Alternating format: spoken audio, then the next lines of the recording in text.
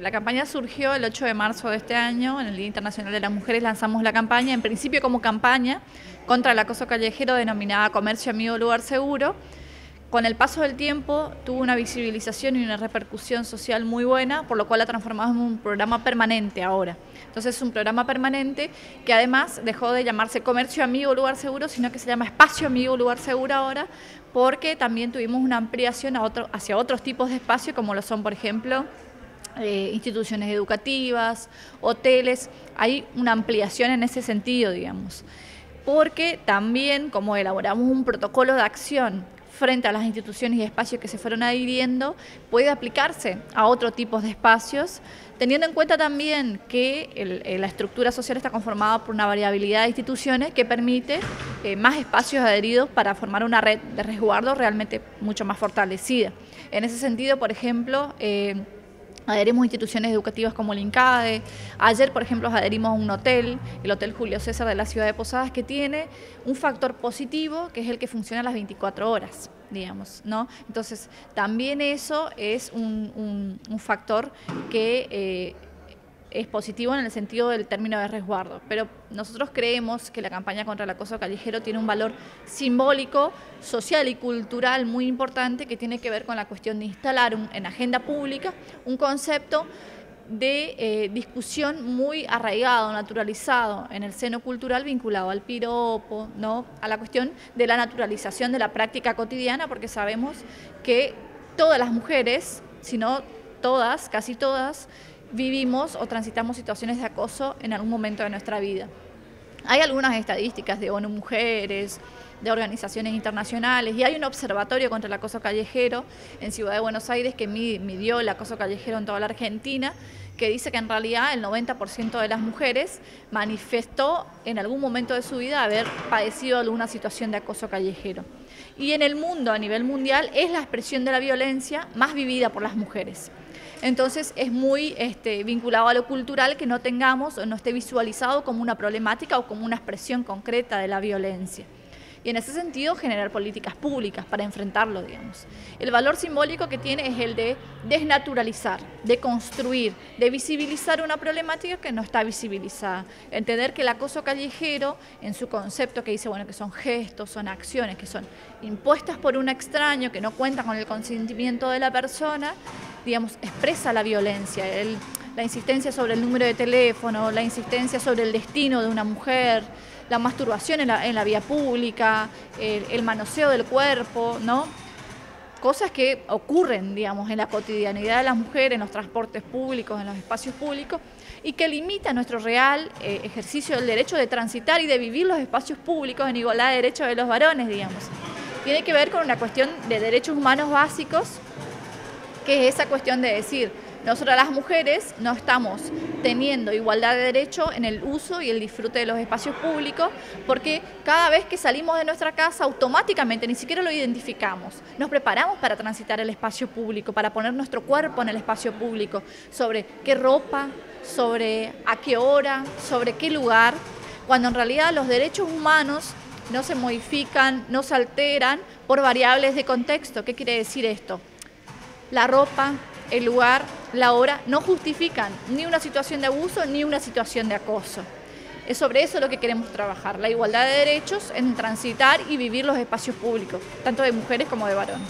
¿Se están viendo algunos cambios? O sea, ¿las mujeres están utilizando el comercio amigo? ¿Se registraron casos o hechos?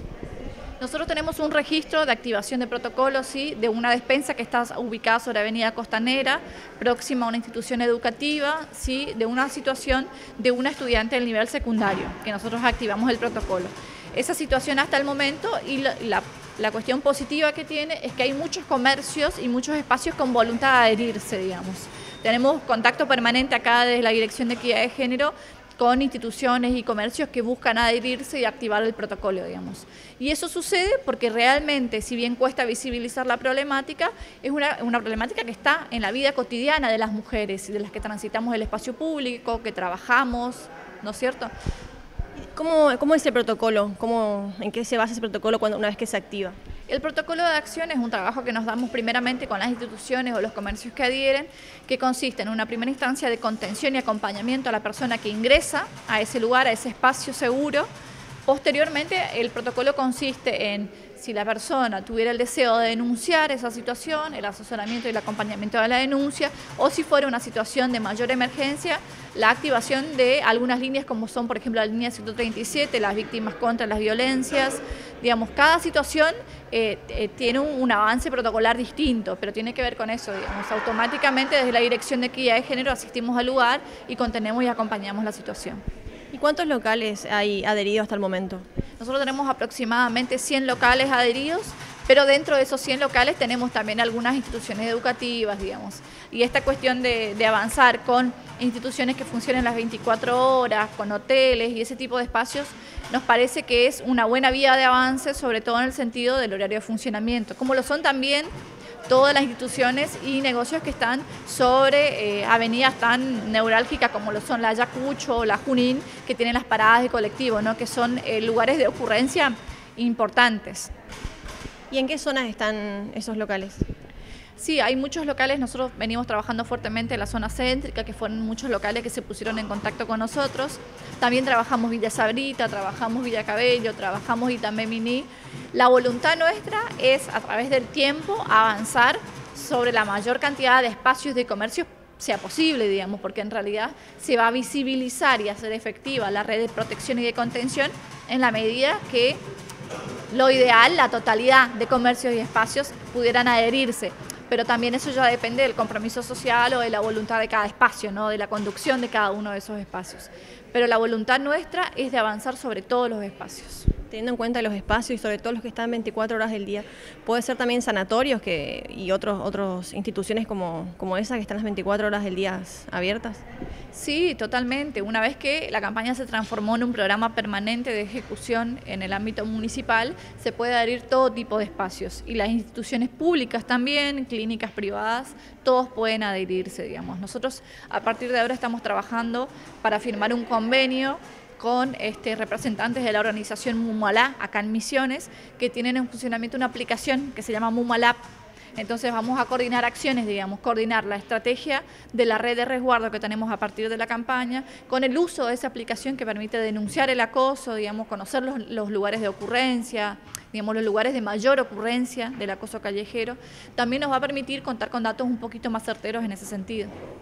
Este, entonces, esta aplicación que la quieren instalar, eh, las, mujeres o las personas que la quieran, una vez apretando algún botón o algo, pueden acceder a, a qué lugares seguros hay o cómo funciona.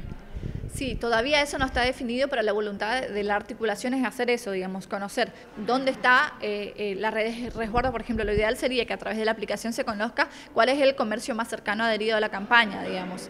Eh, a partir de ahí también conocer los lugares de ocurrencia, para saber también dónde trabajar más fuertemente, digamos, porque la estadística sobre la ocurrencia de una determinada problemática permite eso, digamos, definir con mayor precisión la definición territorial y sobre cómo trabajar, ¿no?